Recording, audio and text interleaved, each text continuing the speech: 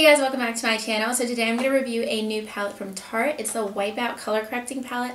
And I did apply this palette on my face today, every color in here, to color correct and contour my face. So if you're interested in seeing a review and demo of this new palette, then just keep on watching.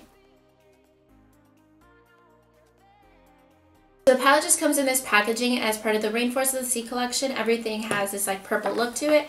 It did come with a instruction guide and I didn't see this until I used it already, but on the back of the box it has a little bit of a smaller one. So this is just the same size as the other Tarte Circle palettes, and now I feel like I need to have all of them. The only one I'm missing is the Powder Contour palette. So just like the other Circle palettes, this has a really good size mirror, and it comes with six shades. It has two concealers, a highlighting shade, a darkness correcting, a redness correcting, and a contour shade. So here are all six shades in the palette. You can tell the concealer shades are a bit dark, so I did end up mixing them with the highlight shade as you'll see in the demo but everything else is spot on the color that you need. I was kind of concerned about this orange shade. It is super dark and pigmented and I'm only used to using like a peachy corrector but it actually blended out really nicely and this contour shade is absolutely perfect. It's not too warm. It does look a little bit orange, but it's definitely not too warm. I think it blended out really naturally. And all of the colors are super pigmented and super creamy and super blendable. I cannot stress that enough. Usually cream products can be a little sticky or a little too heavy, but these blended out really nicely without being slippery either. So they're definitely products that are going to stay in place, but they're really easy to blend out. So I feel like I always find like either or, like either it's really hard to blend out or it's just like you put it on your face and it's just slipping and sliding all over the place. And you definitely do not want that when you're contouring and you want to be precise. You don't want it to like be running down your face and you don't even know what is going on or what your bone structure is anymore because it's just all over the place. So this is definitely a perfect formula. So I'm going to go ahead into the demo so you can see exactly how I applied all the shades and got my contour to look how it does today. So all I have on my skin right now is the Makeup Forever Hydrating Primer, which is basically just a moisturizer. It doesn't have like any silicone in it. So I think I'll start off with the first shade, which is for correcting under your eyes. Or just correcting any dark circles.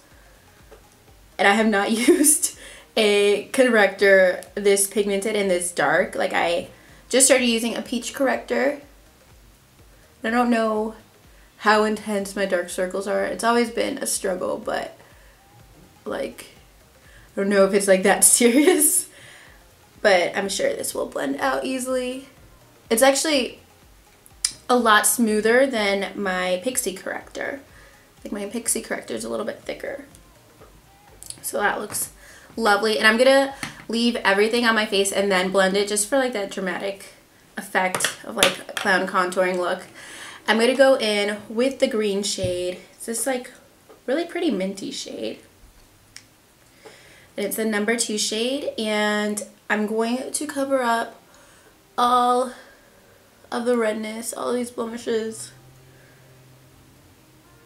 I'm going to do a lot to my nose, I can tell, because I've got some redness. Then I'm going to go in and highlight and contour. I probably should have read the instructions. There is a little instruction things on the back. But I did see Nicole Concealio, I think that's how you say her name, she was promoting this palette on Sephora's website. And she did a quick little demo with it. So the yellow shade is for highlighting. And I might have to go in with this like twice. Because I think I'll blend out some of the green and then I'll go back in and highlight some more. And this is actually just feeling super creamy just picking it up with my fingertips. And this is, I've never really done too much cream contouring or cream correcting. I've done cream contouring, but not so much correcting. Let's do a little eyebrow. The only other correcting palette that I have is the NYX one, the cream, I can't see myself, the cream NYX one that I got maybe a year ago. And those contour creams are so thick. You cannot blend them out, but this is going on really smooth. You know what? I'm going to do my cheekbone. I'm going to go everywhere. And I know I'm going to use a lightweight foundation so I could see the effects of this. Blend out the correcting and then after I do, I'm going to do foundation and I'll do the cream contouring on top of that. I'm using a Morphe foundation brush and I think I'll probably go in with my Beauty Blender afterwards, but I only have one beauty blender and I didn't want it to get covered in orange and then do my foundation. I'm going to use my fingertips for a lot of the rest of my face and then I'll clean everything up with the beauty blender.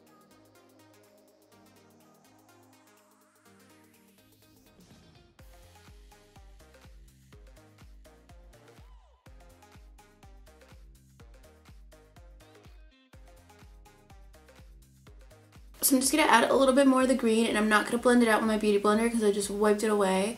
What I do like so far about this is that it is a thin product. So normally I just stick away from cream products because I just feel like really cakey on my face, but it is really lightweight. top everything off with foundation. I'm using the Weightless Naked Foundation from Urban Decay and just an e.l.f. foundation brush. This foundation is so lightweight that when I use it with my beauty blender, I end up wasting a lot of product.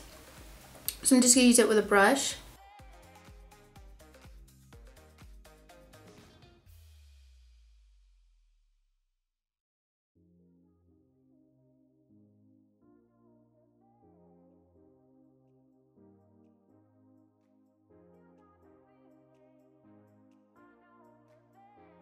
So I swatched the two concealer colors and they are a little bit dark. One's a little peachy and one's more pink. I'm going to mix the yellow and the peach together a little bit and put that under my eyes. I might go in with another concealer, but I just want to see how this works.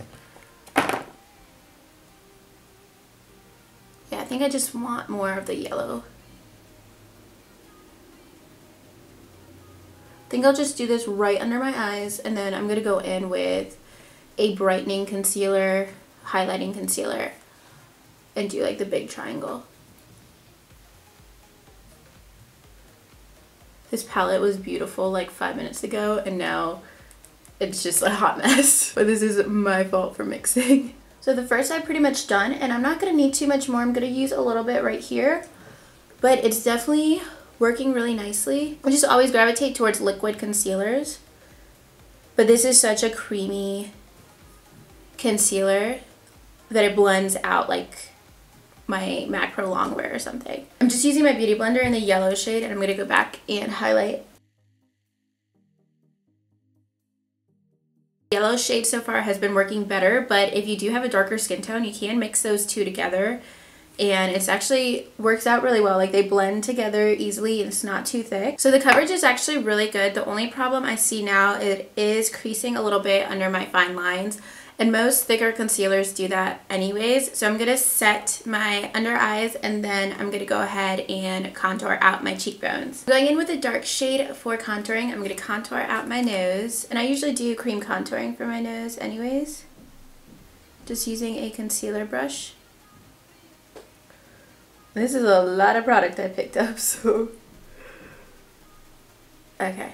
I'm just going to leave everything in place and I'm going to carve out my cheekbones pretty much everywhere I normally contour. I am a little nervous that I might be putting on a lot because I'm not used to this amount of pigmentation because I do cream contouring in my nose but everything else is always powder and that you can build up. So I'm just going to go back and forth between blending everything out with a beauty blender and then the e.l.f. small stippling brush.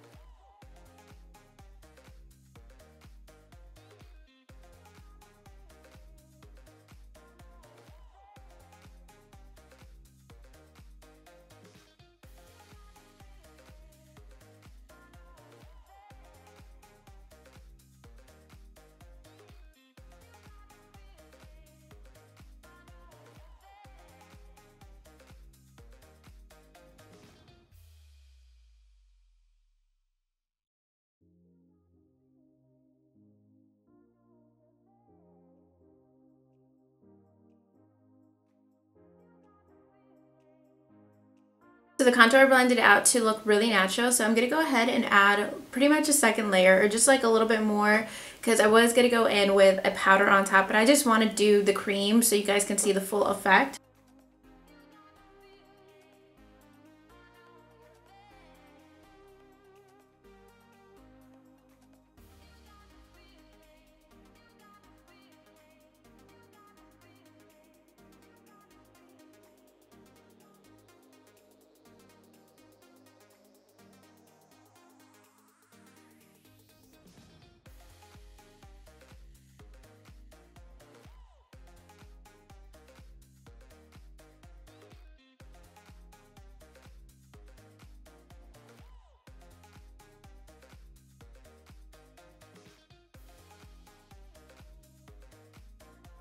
Getting really excited because I really like this. I've never done full contouring with just cream. I do use the Tarte um, Sculptor Pen for my nose and a little bit on my cheekbones, but I've never, I always go in with powder afterwards. I've never used this much cream on my face and I think it looks really good.